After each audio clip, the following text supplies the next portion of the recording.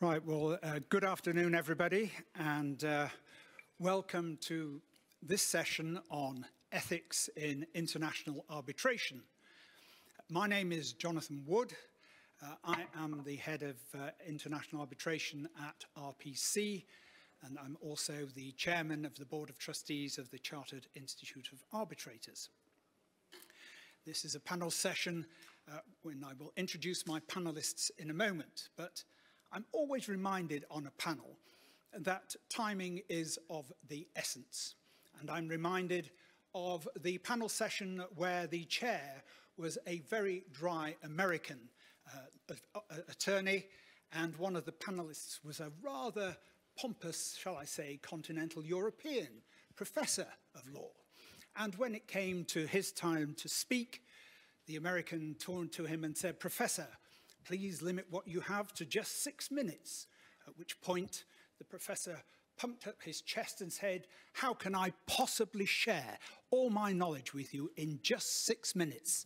To which the American chair said, speak slowly, professor, speak slowly.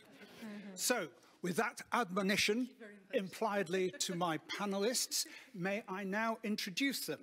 So on the screen from Moscow is Tatiana Mineva, who is uh, co-head of the Russian uh, group and uh, at RPC, and also a specialist in international arbitration. On my left, I have Genevieve Poirier from Lalive, another specialist in international arbitration. Genevieve has a very colourful background. She was born in Canada. Uh, she qualified in New Zealand. Uh, she has an Irish passport, which entitles her to appear before you today, was with an American firm, Skadden Arps, and is now with a Swiss firm here in London. So we have a very broad jurisdictional background on my left. On my right, I have Marion Marion, you're from Wales, I believe. Uh, we have Marion Smith, QC, who is a very well-known counsel and international arbitrator from 39 Essex Court. So with that introduction uh, of my panelists, may I turn to you, Marion. And you want me to introduce the topic. So the title is, Is International Arbitration an Ethical No Man's Land? Or are there rules of conduct applicable to counsel, arbitrators and funders? And when I was given the, I'm sorry, when I was offered the opportunity to uh, introduce this, I thought that I would use other people's words because it's what I spend a lot of my life doing.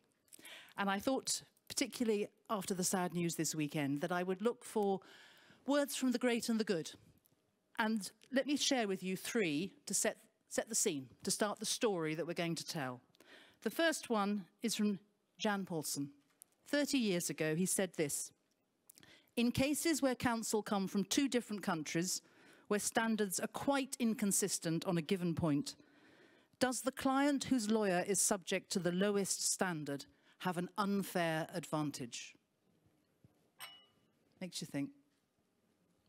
The next one is from the great, late Johnny Veeder. 20 years ago, and like all good counsel, he both asked the question and answered it. He said, to the question, what are the professional rules applicable to an Indian lawyer in a Hong Kong arbitration between a Bahraini claimant and a Japanese defendant represented by New York lawyers? The answer is no more obvious than it would be in London, Paris, Geneva and Stockholm. There is no clear answer. And he then went on to say this, the fact that international arbitration practitioners do not usually share the same national legal culture does not mean that international practitioners are pirates sailing under no national flag. It means only that they are on the high seas. Navigators need more than a coastal chart. So that's what we're going to do. We're on the high seas. Using his coastal chart, coast chart example, we're going to consider what do those coastal charts say? Do these charts all say, here be dragons in the same place? Do we need more than a coastal chart? Have we found it? What does it look like? And who should apply it? Over to you. Thank you very much, Marion. And as an example of where issues arise on a multi-jurisdictional basis, we thought we'd look at the issue of witness preparation uh, because there are a range of views across the many jurisdictions in the world where very large differences arise. So what I'd like to do is turn to our very multicultural jurisdictional uh, panelist on my left here. And uh, Genevieve, um, would you like to start off? I mean, you're with a Swiss firm now. What would the view be taken from that point of view? Yes, thank you. Um, well, you might say jack of all trades, but there we are. Um, I've spoken to my Swiss colleagues uh, because this wasn't, wasn't uh, an answer that I knew.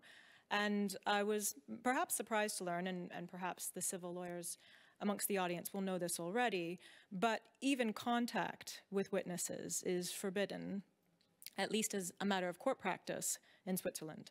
So, you know, you do not meet with the witness, you don't take a witness statement, you don't cross-examine them. And the reason for that, of course, is to avoid manipulating or influencing the evidence. And I think what we're going to talk about more generally is how are we going to get to the truth, the true truth, and what is our responsibility in terms of getting a witness there, both to the court and, and also as, as practitioners. Um, but of course, uh, in the Swiss system, and the same in, in France and in Belgium and in Italy, probably many other places, there are carve-outs, and there's a carve-out in the Swiss um, rules as to uh, whether or not a practitioner can have contact with a witness, and of course they can. Um, the Swiss Bar Association has professional rules that allow that in a way that otherwise the prohibition uh, would just exclude entirely. Um, so it's not improper for a Swiss lawyer to interview witnesses. In the context of international arbitration. Exactly right, exactly right. Um, but what are the contours of that, of that permission? Um, really only that nothing in the course of preparation should compromise that witness's ability to give truthful evidence, which, you know, actually is, is true of our system here in England and, and of many other places. But the question is the method by which we get to that truthful evidence. Um, I think, Marion, do you want to talk about I, I do, but I'm still England? struggling. What do you do in Switzerland with a witness? Because, I mean, they just turn up In the courts? Yeah. Yes, well, I, yes, I suppose. I mean, I think the, the, the civil system, of course, is much more interrogative, Yeah. and so the questions are put by the court. Mm, It is a, a much more limited form of questioning that parties can put to their own or opposing witnesses. It's nothing like the Anglo-Saxon tradition, as I understand it. No, well, the, the Anglo-Saxon system, the rules that operate for anyone who's an advocate here, and that's, you know, that's not, these, these are not bar rules, these are advocate rules, so they apply to solicitors and to barristers. It's quite clear cut as part of the duty of honesty and integrity, nobody laugh, okay? Very clear duty of honesty and, and integrity. You must not rehearse, practice, or coach a witness. There are a number of subset rules about you mustn't put forward uh, facts you know to be false. You mustn't draft a statement to be signed containing facts that you know to be false. You mustn't persuade a witness to give a different account. But you are allowed, and indeed encouraged, to familiarize a witness with the process of giving evidence. And we have now, I think, this divergence, don't we? On one hand, coaching allowed, dragons on the other side. Sorry, coaching disallowed, forbidden. Ah, that was a, I hope not a Freudian slip. Familiarization completely acceptable. And where's the line between the two? But you are allowed to conduct a mock Yep. cross-examination, provided that it is not on the facts of the case that you are dealing with. Yeah, yeah. That, that is permissible. Permissible. It's regarded in the most of the courts as pretty um, useless. They'll describe it as um, what's the what's that wonderful expression from the TCC? It's about as much use as a chocolate fireguard. But I think there are, I mean, there's service providers who now do familiarization so that you can have, I mean, every, people in this room will be familiar with Bond Solon, for example.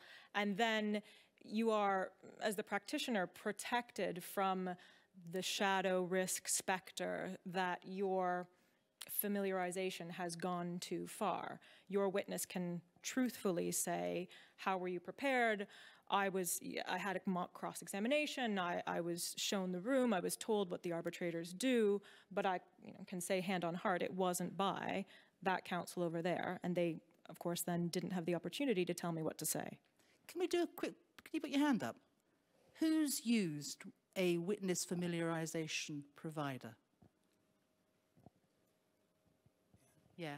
And there we are, and there we are, and it, it, um, it demonstrates, I think, in part, your complying with your ethical responsibilities. And the witness isn't put into a, an odd or concerning position where they have to think about whether they are allowed to say what they discussed with you and whether it was proper or not.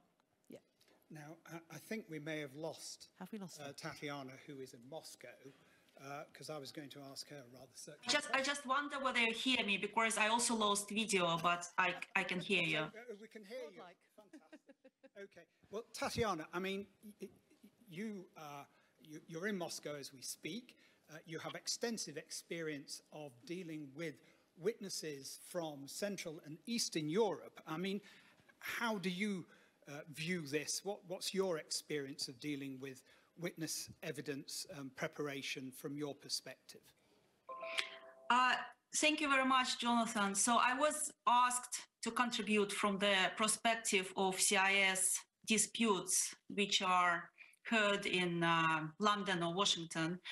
And I should say that my experience is very diverse in this respect because I started practicing international arbitration in Moscow, where I worked in a US law firm. And then I moved to London and I worked in London in English law firms and also in US law firms. So I have approximately 50-50 experience working for US law firms and for, and for English law firms.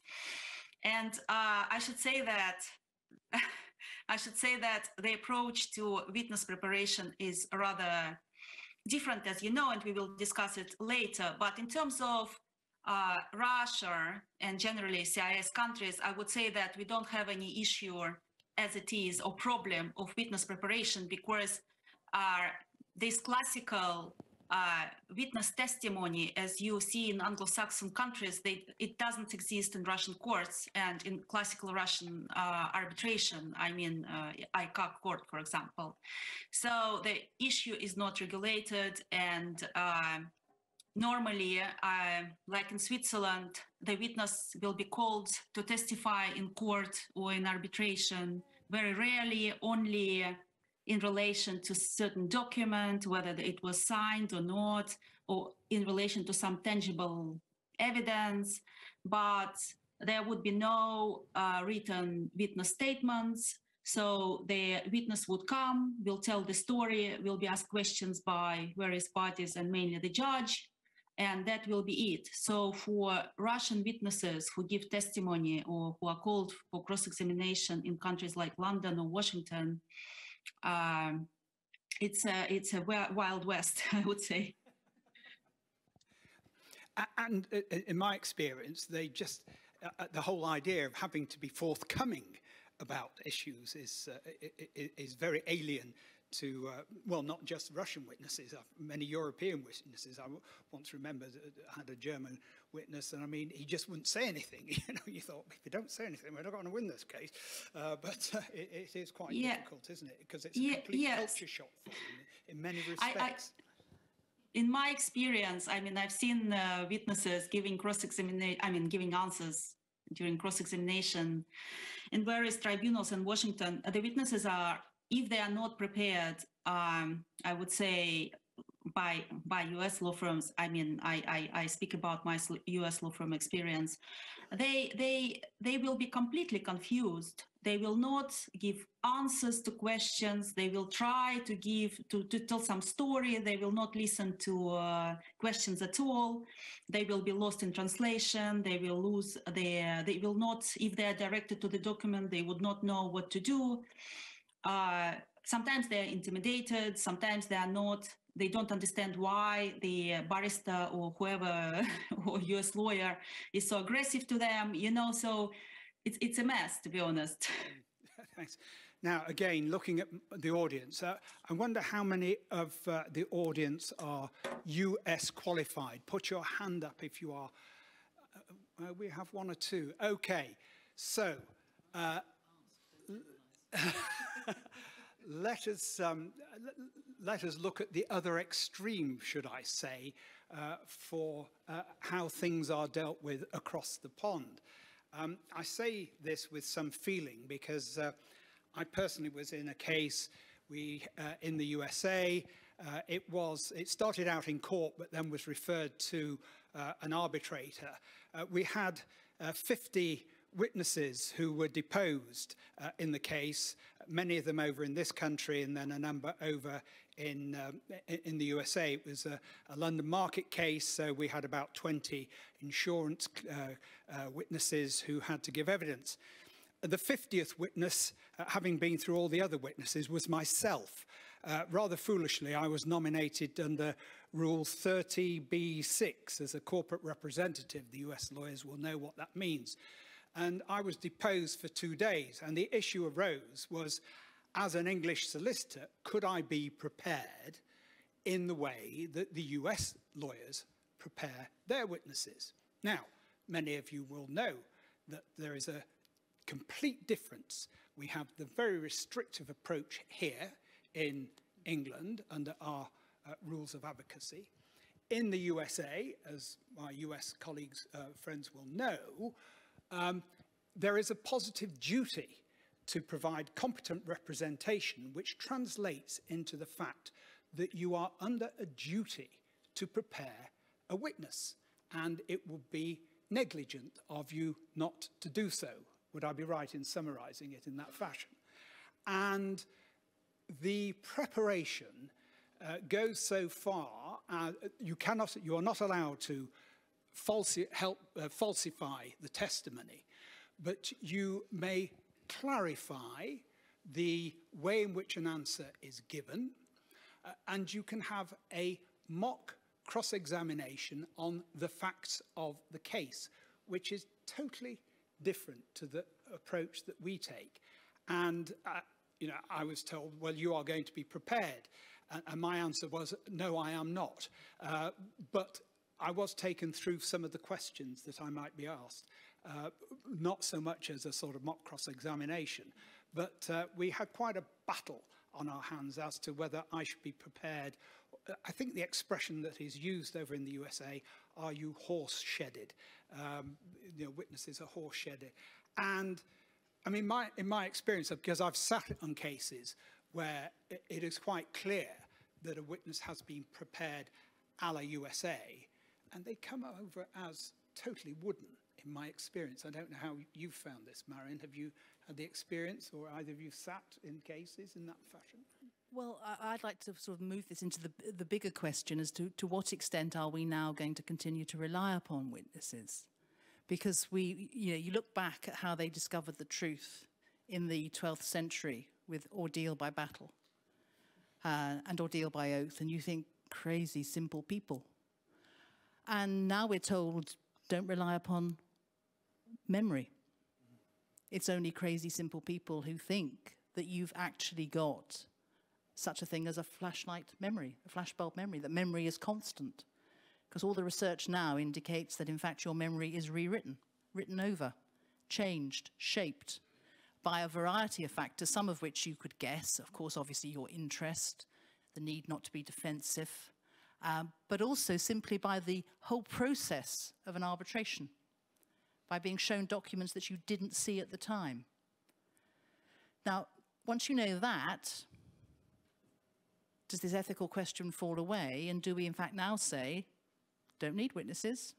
We should just be doing this on the documents. What do you think, Genevieve? Well, that I mean that does bleed into uh, witness statements, and yeah. uh, and and I, I, do want to come on to maybe not immediately, but I do want to come on to the new practice direction here in the commercial court, which is which is very prescriptive about um, exactly that whether a witness can look at documents. And if they do look at documents, which documents? They need to set them out. Well, let's, let's say, make this comment. I mean, the way in which witness statements are prepared now in international arbitration is preparation by any other means, frankly speaking, is it not? And I mean, you know, the way in which you see some of these witness statements or even memoranda prepared, I mean, it is, you have to think that the ethical lines that are, that are set, uh, you know, the boundaries that are set are being pushed to the limit when you see the witness statements that are being provided well, in. You, you've noticed how the whole world talks like a lawyer. Yes. you know, there's yeah, the concept that it's in someone's own language. I mean, there's words that they've never heard of in, in their lives. Yeah. Um, and lots of, in Latin maxims. I'm not sure how many of your you know, surveyors speak in Latin max maxims, but not very many. Yeah. And that, I mean, certainly the commercial court here is trying to get its hands around it. Is it doing it, you know, the right thing? Well, we'll, we'll see but all laudable, all about trying to give the court or the tribunal the truth. Um, and what is the best way to do that? Is it by showing a witness a variety of documents? Is it by stitching them together in their witness statement so that they can tell the story, which then they learn and becomes implanted? Or is it, you know, I can't remember what I did two days ago without looking at my calendar. Is it really about reminding the witness that that is what happened. That is the context. They did go to that place on that day, and therefore it's totally appropriate for them to see all of the documents in the sequential order as they appeared. But you're right, both here in the commercial court, which is what they're trying to stamp out, and in arbitration, it tends to be that witness statements are used as another form of advocacy to tell the entire story of the creation of the contract, people's mindsets at the time, and to comment on what someone else says is the truth. Whereas now, under the new pr practice direction, a, a witness is going to be very restricted to talking strictly about facts that cannot be divined from the documents and facts that are particularly within their own knowledge. That doesn't seem that controversial, but for example, now the preparation of witness statements here for court work, for trial, is going to mean that uh, you know, you can't provide a witness with a, a draft statement for them to consider. You're going to have to interview them with non-leading questions and see what they come up with. This is, mm, yeah. yeah. Well, this, uh, well, one of the things that I've noticed now, if I may say, I started my career as a criminal defence lawyer uh, for six years in the north of England. And um, what I observed when I moved away from the criminal courts into commercial law is that the art of putting on a witness in chief has just been lost completely. So, I, I, mean, it's all very well, you know, sort of saying, well, this is where we're going to go to and everything like that, and you put your witness on at your peril. I mean, you know, quite often. The, the, market's not going to, if you do that, it's going to extend the length of a hearing. Mm. That's going to push the cost of what is already an expensive process up. I can't see the market accepting that. And I mean, the ICC in their own report looked at this whole issue because memory fallibility is genuine. That's, mm. you know, it's like climate change. It's, the, it's real. But what do you do in arbitration? How far can you, as an arbitrator, maintain your distance from the process, allow the parties to tell the story they want to tell? And the parties do want to tell their story. Is it, is it, you know, yeah. they want to have their say. Yeah, yeah. And so, and, and impose a code I mean, the only thing I've seen imposed on a code basis is that in most arbitrations, the panel will say, as a witness hits a coffee break or a lunch, don't talk to anyone. Hmm. Uh, can I just ask, has, everyone, has anyone seen that rule knowingly broken? Oh. Yeah, interesting. interesting. One. Yeah. yeah. Yeah, one, yeah, there's, there, there, are a couple of hands fluttering up. Yeah. The interesting thing, and you can tell me after the coffee break, is did you realise at the time it was being broken because the witness comes back in and says, do you know what?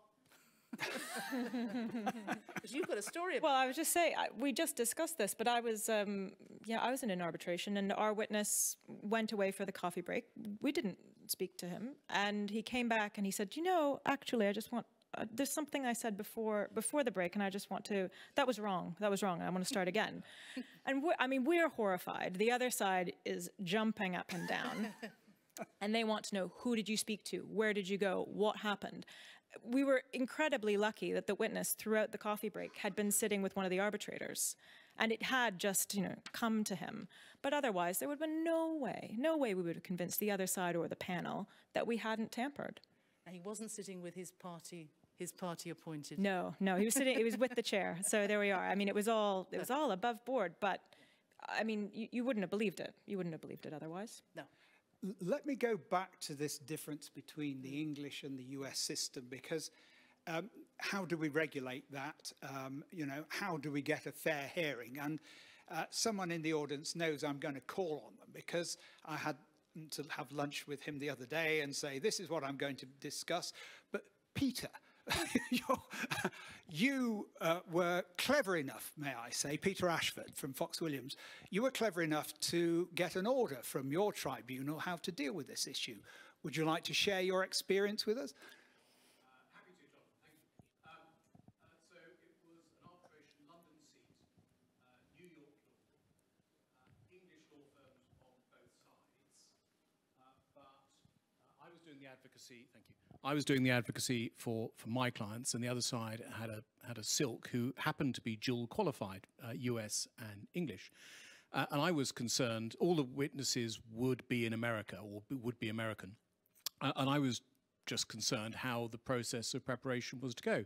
So I asked the tribunal for an order, and I said I didn't particularly care what order they made, as long as we got a level playing field and we all got the same rules, subject to what I was ethically entitled to do. Uh, and uh, the tribunal was a Canadian in the chair, uh, a New York lawyer uh, appointed by my opponents, and we had a retired uh, Court of Appeal judge uh, who we had appointed and the uh, the up the the New York lawyer on the on the tribunal was, uh, as Jonathan mentioned, apoplectic, saying, but but it would be um, unethical not to prepare. You can't possibly impose that on on somebody. But the the majority of the tribunal, I suspect, it just came out as an order, uh, accepted that, and we got an order that preparation of witnesses would be on the uh, there, we thought there was a slight distinction between the Solicitors Code of Conduct and the Bar Council Code of Conduct. So we got the, an order on the most restrictive uh, mode of preparation uh, subject to the Solicitors Code of Conduct and the Bar Council rules. So the, the answer is to... To ask for the order. Ask for the order head on in, in the early, you know, for a procedure. Yeah, it's got to be a PO1 or pretty early on, the, uh, before the before the prep is done. Yeah, exactly. which uh, which is very sensible, if I may say, Peter. Uh, and so. Yeah, policing well, it. What, what how do you well, get compliance? Let's move on, shall we, to the issue of regulation. Now, uh, Tatiana, you're sat there in Moscow. Prague rules are what you're used to. How, how does that help with regulation? I, I, Jonathan, with all my respect, I'm not used to Prague rules because actually Prague rules were introduced just in January 2019, and it's a it's a new new thing in international arbitration. It was uh, adopted, I think, as an alternative option to IBA uh, rules on taking of evidence in international arbitration, and earlier today, uh, it was said about parties, they want to tell their stories to the arbitrator. And so arbitrator just sits and kind of manages the process and listens to the parties, how they tell their stories. Whereas Prague rules, they set out alternative method of uh, proceedings where arbitrator takes an active role and arbitrator actually decides how the process is going to run. For example, in respect to witnesses, uh, arbitrator decides whether witness will be called and which witness will be called.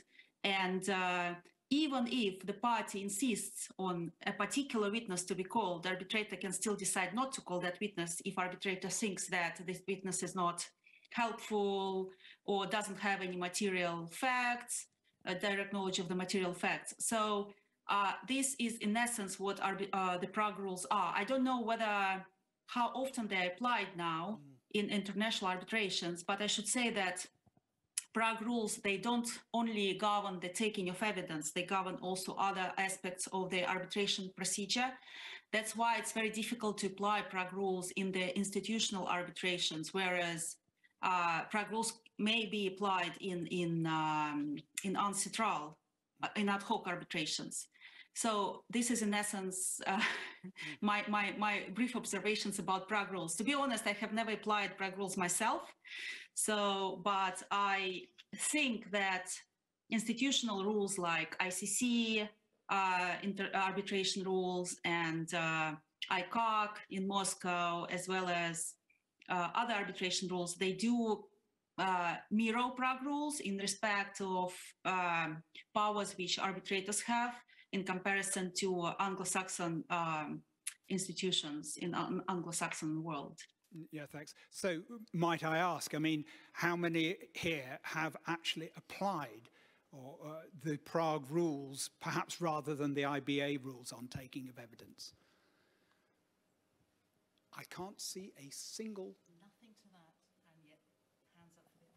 Yeah, yeah. So how many, so here's the obvious question. How many have you used the IBA rules on taking evidence? Yeah.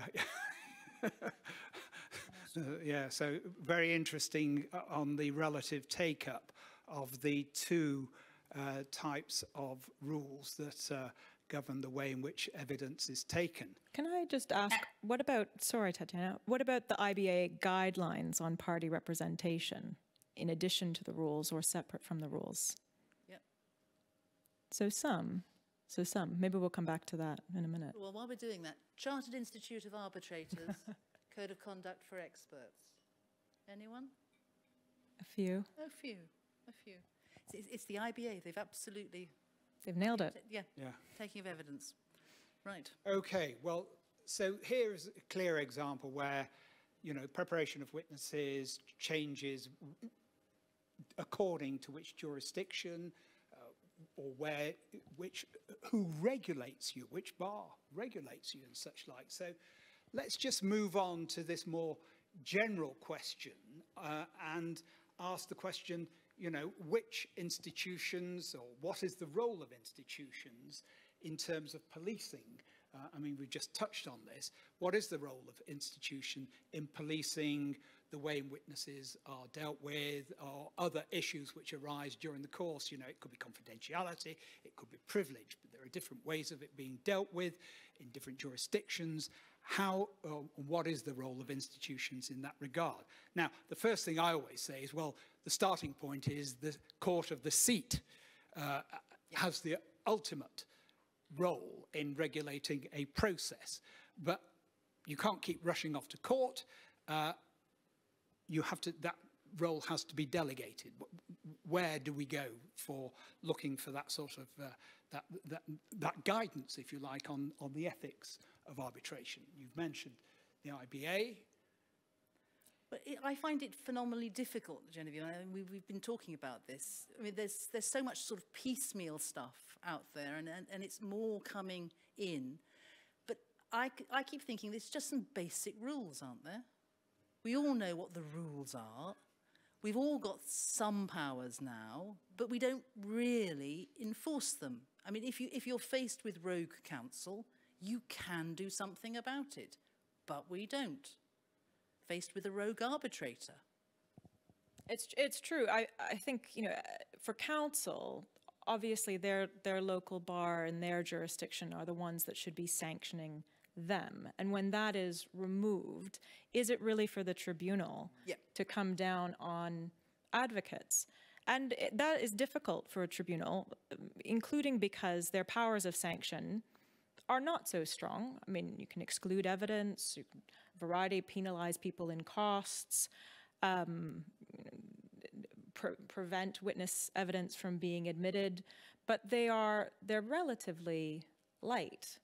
They are. And, I, and costs, the trouble is you're penalising the wrong person, aren't you? You're penalising the party. Uh, I've never seen, a, and I'd be interested if anyone has, a costs order made against counsel personally in an arbitration. But then I think the risk is if you if you penalize counsel, you are well one arbitration is a consensual process the arbitrators are being appointed by counsel if a counsel feels hard done by, you're much more involved in the process in a way that the the courts of the seat or the bar is is not. And there can be a, a complaint against the arbitrator for bias potentially, or maybe a complaint, um, a challenge to the award. So it, the, the panel is just so much more involved with the process. I think it's hard for them to put, uh, you know, a real hard sanction um, against parties or, or counsel. And that's one of the differences between the court and an arbitration tribunal because there are reported cases in, in this country of awards being made against a witness of, for costs. Yep. Uh, uh, uh, there's, there's one reported case at least Yep. on that issue. Uh, but I mean, again, a tribunal would be, you know, I mean, I, I think it would be very dangerous if, if I was sitting, I'd be very reluctant. Don't, don't take your own gospel on that. But no, but I think but the LCIA does provide powers to the tribunal. So again, let me ask the audience, Are they used? Yeah. has anyone had the tribunal invoke its powers during an LCIA tribunal to police the conduct of counsel? They have these powers. Ah, there's somebody there who's had an awful lot of experience in an awful lot of cases, I suspect. But again, looking round the room, you know, um, it's, it's a power that has been granted under the rules, but not exercised. Well, maybe then the question is, how many of you have thought about? ah, now that Thought one, police. yeah, now that one got you laughing. So what stopped you? Because it's, it's, it's what we, come back again, time and time again, to go back to the commercial court example with the witness statements. There's nothing, absolutely nothing new in that practice direction. All of that's been said for years, but we never listened. So they thought, right, had enough, put it in one, get it out there. And so to that, to that extent, it is, it's hitting the profession anew because we've just not applied it, not done it. Now, the LCIA have given you these rules and everyone's thought about it, but not. Now, what stops you? Is it just, is it litigation, is it dispute fatigue? Had enough? Been too many battles? It's too hard? CFO won't pay for it? Doesn't want it? Doesn't need it? What is it? don't know. We can ha- have, have one-to-ones outside and Yeah. find out the answer because no one's going to come forward. But I mean, we do have codes of conduct. You know, so the LCI has Yep. has it in their rules. Um, the Chartered Institute, Yep. which I'm the chair, and Marion is my deputy. Um, we have our code of conduct, um, which is laid down, but is limited to, to when you're sitting as a neutral. It Yep. does. It is under review at the moment, and one of the recommendations that I have made to our uh, professional conduct committee is that it must not only apply to those sitting as neutrals, but also to those who are members of the institute who are acting as counsel, uh, because I think that they too should be brought into the fold for acting with integrity, to put it at its, at its briefest. But uh, so you and I did a bit of inquiring this morning. How many times has the disciplinary code been used uh, by the Institute in, since 2009? Well, it, this is to, to take the post-nominals away. So it says to take someone out of membership of the Yeah. institute. There are, there's a whole gradation, as you'd expect, of sanctions twice, twice since mm, mm, 2009. Mm. So, the, but, but it's got teeth. It's a power there because if, if you get the ultimate sanction, you can't use the post-nominals. You lose that with membership. And, and that might, I don't know, maybe I'm biased. The only, the one case I do remember of those was when an arbitrator was so slow in delivering his award that action had to be taken. I mean, that was egregious action. But um, uh, other sorts of, you know, sort of bad conduct, if you like, has never, you know, sort of seen its way to the disciplinary process as far as I- I'm aware. I mean, it, it's bad conduct universally, isn't it, if you're late with the award and Sure, of course. Yeah, of course. I was I was just thinking as you were discussing it, if the sanctions aren't working, fine. So we give up on having rules with sanctions. Do we then go back to what you were suggesting, Marianne, which is everybody knows what the rules are and what we should do, and have a, a general sort of code of conduct, which is ICA has come out with their code of conduct this year. Very not prescriptive, very much about civility of practice covering all sorts of areas. And whether soft rules like soft guidelines like this are actually all that we can hope for. And then at the beginning of our own individual processes, we decide consensually what we're going to be guided by in order to, as you say, level the playing field, but only then using the tools that are available, um, but not relying on rules with sanctions that n- nobody applies. And I mean, the Uh, may, may, may- may, may I interrupt Yes, here? Unfortunately, unfortunately, it's I, I I still don't see the audience. I don't see. I have video, but maybe I, I just I just can say my view that uh, the most efficient, from my point of view, is the cost order in international arbitration in respect to parties' conduct. I think that this is the only real instrument which might affect the parties to conduct in the most efficient way. yeah, and, and, and the clients will see that. The client will see it, but do you think that that, does, does that change the, the practice or the behavior of counsel? So they've been caught out once, or, you know, they, I assume you presume that you don't think that it was uh, as egregious a breach as, uh, as warranted costs. And what are you going to do depends- about the arbitrators? How we, because what you can do in many court systems is you can um, ask the Ministry of Justice to uh, compensate a party that has lost out through a fixture that couldn't be held or a judge who's delayed. Should we put in place a system, maybe the ICC think they have, of um, penalising arbitrators? they dock the fees for late awards. Should they say to the parties during the course of the, uh, the arbitration, you're just about to, we've got the award, before we give it to you, so it's not going to affect the award, do you want to mark your arbitrator? Do you want to tell us if your arbitrator you think was incorruptible, honest, fair and efficient?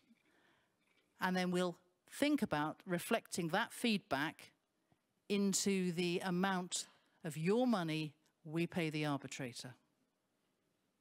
What do you think? Silence. but I mean, the, the ICC does ask for feedback. It does, but it doesn't go into any. I, I checked it. No, it doesn't go into anything uh, about this. No. And uh, I- I think there is, you know, there's this idea of having a, a sort of um, uh, uh, doing due diligence on arbitrators and Yep. all this sort of thing. I mean, it's it, it's whispers in the corridor at the end of the day, isn't it? Quite quite often. I mean, it's a fairly closed community practicing international arbitration around the world, and you kind of get to know about the arbitrators, and you kind of get to know about the counsel and you cut your cloth accordingly. But the world, in a world which is committed rightly to equality and diversity, so you are going to spread the net far wider. How are you going then to police a bigger community? You can't build your monitoring on the fact that everyone knows everyone, because that's, that's rapidly going. Well, not only that, and that gives the same problem with the sanctions. Are you going to sanction a party who will probably appoint you again? I mean, it's just, it's, it's too tight. It's too close. Yeah. Right. Well, the six minutes. Should we ask the last question and then the last, take their question? I was going to Yeah. say, um, we had one polling question which we thought we might put to the audience. Uh, is our pollster there? In the, uh, come on, put it up. it's a very simple question. And if you don't, We just wanted to use the technology. we're trying to use the technology as ever. Is it with us? Okay. If the question is not being put up, uh, I will ask it. You can, a show of hands. Is there a role for one institution to have univer, ah, here we are. Is there a role for one institution to have universal control over ethical standards in, and what? I've- How many people polled? Two? yeah. Seems pretty clear. So it's pretty clear uh, that uh, we just go more beyond more than thank you. Thank you. Whoever the last two were. Oh, Yeah, yeah, come on. Right, right, right, right, right. Okay. Yeah. Let's see. Oh, Oh. whoa, whoa, whoa. now you're playing with it. Now, now it's, it's irresistible, isn't it, to move it? Okay. Okay. 60 40. Well, that's more balanced. Yeah. Very good. More balanced than I would have thought. Ah, come on. Don't take it back. Sorry, sorry, we'll stop there. Pens down. Are there any questions?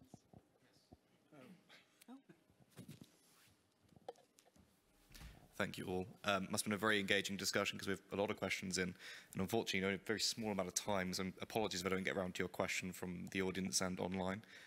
Uh, perhaps I'd start with um, on, on the sort of discussion around coached evidence. Is it not the case that coached evidence is almost always exposed by competent cross-examination? That's how good the preparation is. A- And no, it's not. It's not. I think the, the idea that a witness goes, oh my God, you've got me. I lied. No. Hollywood. And I think the problem with coaching, good coaching, is that the witness now believes that that is the truth. So it, it isn't a question of catching them out in cross. They've now learned a new version, a new gloss on what their actual recollection was. And uh, finally, just because we can't eat into the, the break session too long, uh, what considerations need to be applied to vulnerable witnesses? Torture has been raised as an issue in commercial disputes, and then the question asker raises the CFHNA versus Shagang dispute. I'm not sure if that's one that you're aware of. Yeah, vulnerability is something we struggle with. Uh, i- It's, I think you will have seen it coming into the criminal courts, um, and we're acutely aware of coercion. I don't think we've begun to have that conversation in international arbitration yet, and I think we may rapidly be entering the times when we need to, because it's going to be a new normal, but a very, very difficult environment. I have been in an international arbitration between two uh, Eastern European countries involved where the look was flashed at the witness and the witness just dried up. Yeah. And that was quite clearly as a result of the threat uh, that he felt that he was under for saying any more. I mean, he just dried completely Yeah. and said, I, I can't, you know, can't say anymore. So we are in part. So yeah, yeah, I mean, it happens, Yeah. uh, I'm afraid. Um, but it happens in court as well, you know, I mean, it's not just limited to that part of the world. Uh, it, it, it, no. it happens all over the place. No, I think, that, I think the pressures of climate change and Yeah. the pressures on our society are going to result in us coming back to I wouldn't like to be a magistrate in southern Italy. Talking about vulnerability and witnesses. Yeah. I think, unfortunately, in the interest of time, we're going to have to wrap up the session, but please join me in thanking uh, the panelists for an unbelievable session this afternoon.